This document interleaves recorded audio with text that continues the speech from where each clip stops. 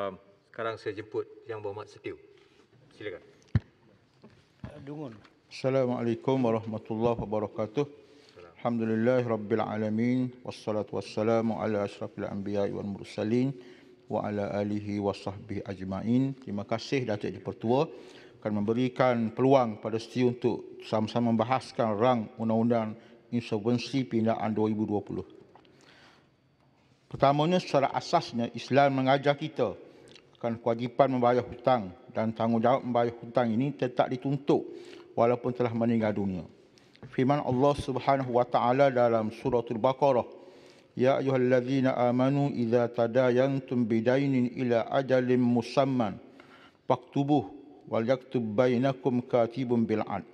Maksudnya, wahai orang-orang yang beriman, apabila kamu menjalankan suatu urusan dengan hutang piutang yang diberi tempoh sehingga ke suatu masa yang tertentu, maka hendaklah kamu menulis hutang dan masa bayarannya itu. Dan hendaklah, hendaklah ada di kalangan kamu seorang penulis yang menulis dengan adil.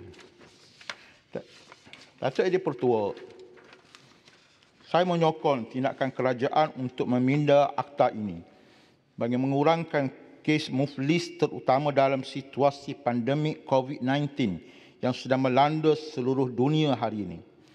Saat, saat ini ramai yang masih terbelenggu dengan isu kehilangan pekerjaan dan peluang pekerjaan yang semakin sukar menyebabkan ketidakupayaan dalam membayar hutang. Deseru tahniah diucapkan kepada kerajaan yang telah bersungguh-sungguh dalam membantu rakyat. Saya yakin dengan menaikkan nilai ambang sehingga RM100,000 ini akan mengurangkan bilangan kes muflis. Namun begitu, saya ingin mencadangkan beberapa perkara agar langkah ini boleh dimanfaatkan sebaik mungkin. Pertamanya berkenaan isu pelepasan automatik yang bakal dilaksanakan. Saya mencadangkan agar sepanjang tempoh pindaan sehingga akta ini benar-benar digezetkan, diwartakan. Individu yang terkesan dengan perubahan nilai ambang diletakkan dalam tempoh bertenang dan tidak diisytiharkan muflis sehingga akta ini diwartakan. Sebagai contoh, jika CA mempunyai hutang yang disatukan mencecah RM70,000, maka sebelum akta ini dipinda, CA automatik diisytiharkan muflis. Namun setelah akta ini dipinda, CA tidak lagi muflis. Oleh itu, mana-mana individu yang mempunyai hutang yang dibekukan mencecah RM50,000 hingga RM70,000 diletakkan dalam fasa ini agar permasalahan pertukaran status tidak akan timbul setelah akta ini selesai diwartakan. Datuk Ini Pertua, saya juga ingin menyentuh berkenaan beberapa isu yang berlaku berkaitan pembukuan akaun. Terdapat kes di mana CA membayar hutangnya kepada Jabatan Insolvensi namun akaun CA masih lagi disekat.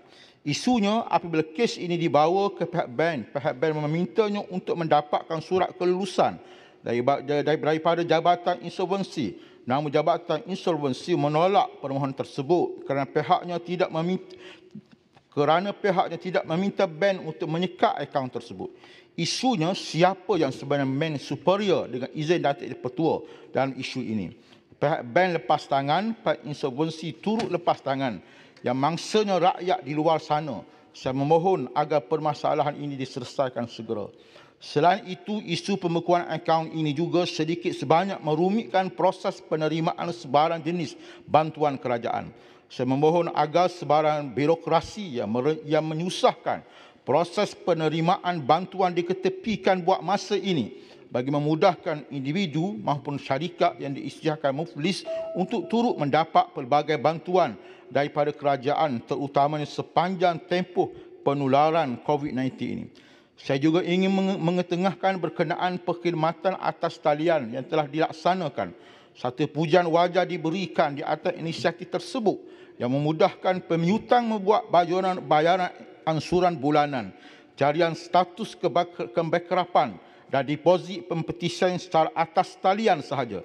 Namun begitu, terdapat banyak laporan yang diterima berkenaan penyediaan sistem yang agak lemah. Pengguna tidak dapat melayari website tersebut disebabkan server down, connection problem dan sebagainya. Perkara terakhir yang ingin saya cadangkan adalah berkenaan meningkatkan program celak keuangan secara, aktif. Terutama bagi pelajar universiti bagi mengurangkan isu kebankrapan dalam kalangan golongan muda di negara ini. Umum mengetahui golongan beliau yang berumur di antara 25 hingga 34 tahun paling ramai diisahkan bankrupt dan tempoh 2013 hingga 2017 iaitu seramai 24,650. Oleh itu, saya mencadangkan agar program ini dijadikan sebahagian daripada mata pelajaran melalui kewujudan jam, jam kredit kepada para penuntut di peringkat tinggi bagi memastikan mereka benar-benar faham berkenaan pengurusan keuangan sekaligus membolehkan mereka mempraktiskan apa yang dipelajari agar mereka lebih berhemah dan menguruskan keuangan pada masa hadapan.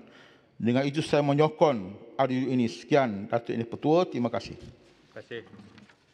Uh, sekarang saya jemput Yang Berhormat